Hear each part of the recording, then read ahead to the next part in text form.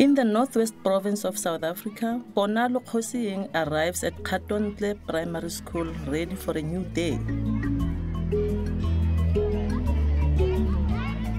Ponalo is planning for an interactive reading activity with her grade 2 class of children.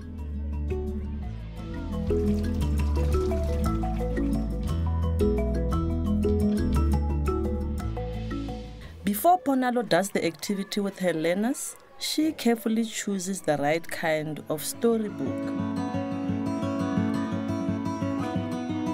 She plans to read the story to a small group of learners and then encourage them to retell the story in their own words. Ponalo has chosen the book Tlowana Marata Huitzi, Curious Baby Elephant, to read to the children today. As part of her planning, she reads the story to herself so that she knows it well. tlwana marata go She thinks the children will understand this story because it is in their local language, Setswana. bogologolo tala nko ya tlwana e ne e le khutshwane e le kima jaaka setlhako fa gare ga sefatlhego But is it a good story for the children to retell?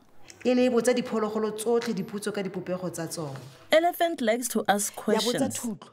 Goreng ya gago e le telele Elephant as the giraffe. ya botsa goreng lenaka la gago le le ntlha Elephant as the rhinoceros. goreng matlho gago a ebitse jaana Elephant as the hippopotamus. e ne e sa fele pelo mme bogolosegolo ne Ponalo thinks there's good repetition, rhythm, and sequence in the story.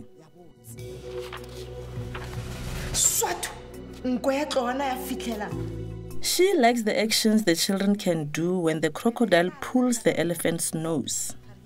And suddenly, let's go!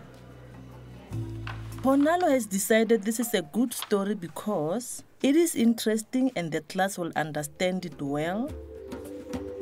The story is at a good level for learners to read. The pictures are clear. There are new words for the learners to learn.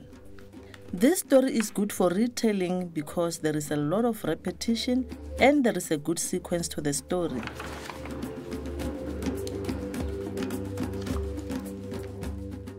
Finally, Ponalo writes the new words on big cards.